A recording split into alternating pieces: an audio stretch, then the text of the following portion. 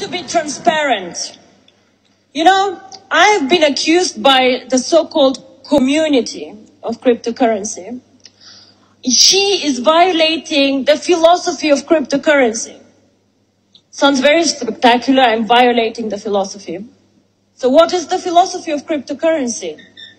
Cryptocurrency has to be anonymous. To be very honest with you, I don't think so. So somebody came into our support team at Telegram and tells us that he cannot get his account KYC verified. And therefore, ever since he invested, he cannot transact his assets from his account to another account or actually use DealShaker platform to purchase anything online.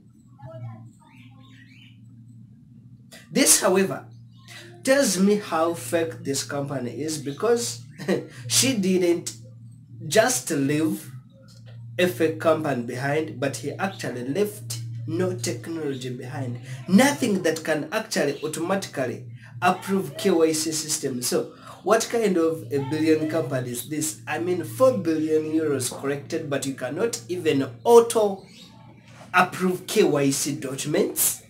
I mean, what kind of nonsense is this? What kind of a serious company takes six months without verifying customer documents? What kind of company is this? Ladies and gentlemen, we ain't haters, but they are visible proof that actually every person can actually see. Even the brain can actually see. She didn't create a cryptocurrency, but she created a pyramid scheme to actually take people's money with fake promises and after run away. Everybody can see this. I mean, people invested in their money, not that they cannot even be KYC approved. However, we must all know that there is rumor which says that actually OneCoin does not just scam people, but actually OneCoin also sells KYC documents to black markets and dark websites.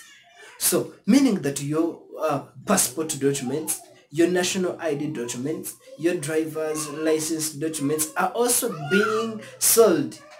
That they are also being sold. I don't have proof on that, but there are rumors that there is high possibility that actually KYC documents are actually being sold to black markets and dark websites and they are being paid.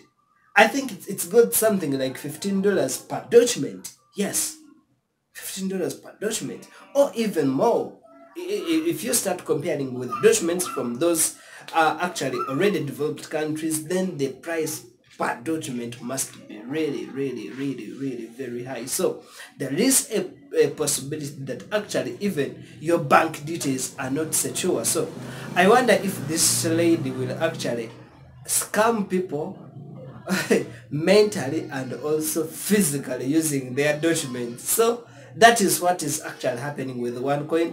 KYC documents, KYC approving actually the systems are not working fine i wonder if they still have support system because if actually the customer couldn't contact the OneCoin support system and he was actually looking for anybody anywhere possible. So he was just moving on facebook social media telegram until he reached on OneCoin support group and he thought that maybe we are the OneCoin administrators. No we are just OneCoin victim support team that actually give support to OneCoin victims who feel that they were actually scammed and we simply give out free support system.